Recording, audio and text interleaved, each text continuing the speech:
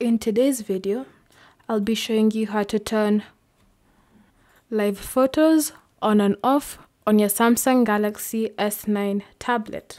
So first, open the camera app and here you'll find the option for live photos. So as you can see, mine is disabled.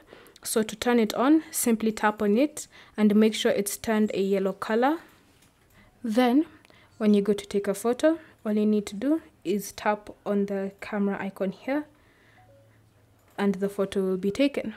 Once the photo has been taken, open the camera roll and you'll see the option view motion photo. So tap on that and as you can see, the motion photo has been taken. So mine is two seconds long.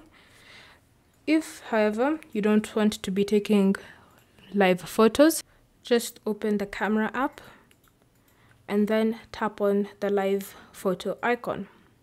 So once it's turned off, you'll notice that when you go to take a photo and then you open the camera roll, the photo is no longer a live photo. You can't play it. Thank you for watching. If you have any questions or comments, leave them down below and we'll get back to you.